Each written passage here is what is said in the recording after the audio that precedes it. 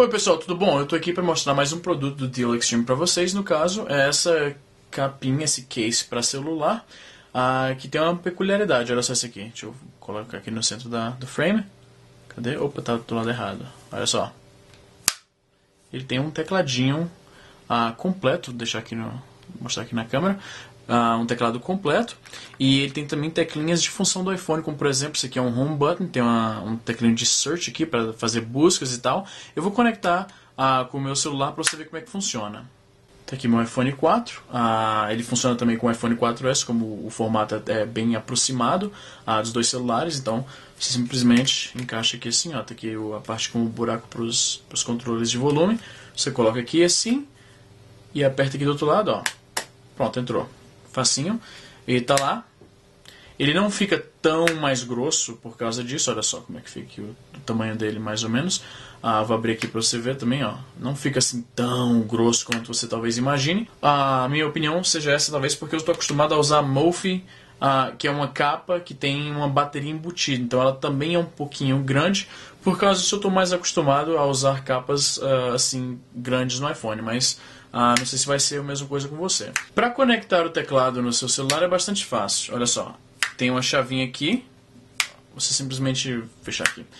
Tem uma chavinha aqui, vou colocar bem no meio do, do frame aqui, ó. Tem essa chavinha aqui, você liga ela. Pronto, ligou. Vai acender uma luzinha aqui dentro.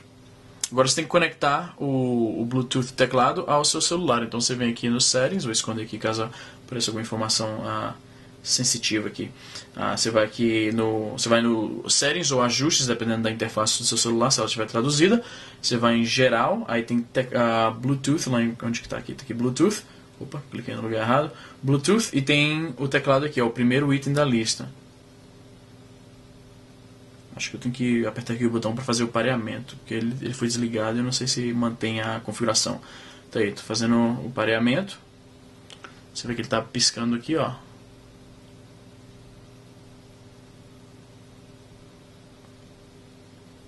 Pronto, conectou. Só isso. Ah, isso acontece apenas porque a bateria do, do teclado morreu completamente. Se ela, ah, quando a bateria não está morta, ah, é só você desligar e ligar que ele já conecta automaticamente ao Bluetooth do seu celular. Agora vamos testar aqui. Aqui o botão Home, veja só. Ele vai para o Home. Eu vou abrir aqui o bloco de notas, espera aí. Na verdade, Notes.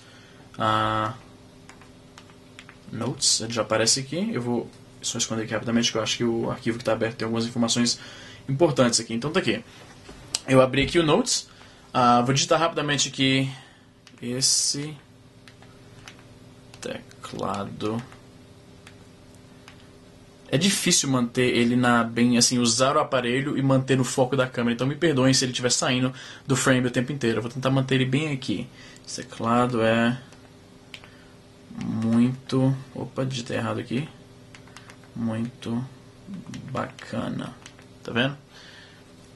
Opa, esse teclado é muito bacana. Ah, novamente você pode só fechar aqui. Ah, uma coisa interessante é que quando o, o celular está conectado ao teclado, o tecladinho natural aqui do, do iPhone ele não aparece. Então você vai ter que desligar ele. Ou então, peraí, eu acho que tem um esquema aqui.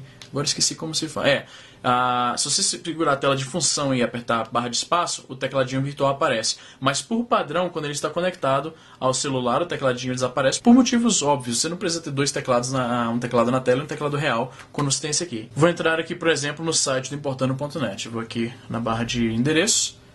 Manter o... É muito difícil manter o celular bem no frame quando está usando, mas aqui eu acho que está bom. Importando.net. Aí você aperta aqui o Enter ele vai lá. E aí está. E é isso aí, se você sempre gostou do seu iPhone bastante, mas se como muitos usuários você achava que um tecladinho físico, como o que existe em celulares Android, fazia falta, esse case talvez seja para você. E é isso aí.